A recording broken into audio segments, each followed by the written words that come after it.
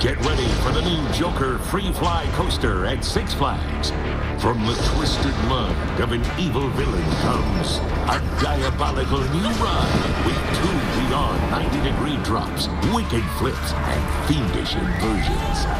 Time is running out to save up to 60% on a four pack of passes with a free parking pass. Hurry, price goes up after May 29th. Go big. Go Six Flags Great America.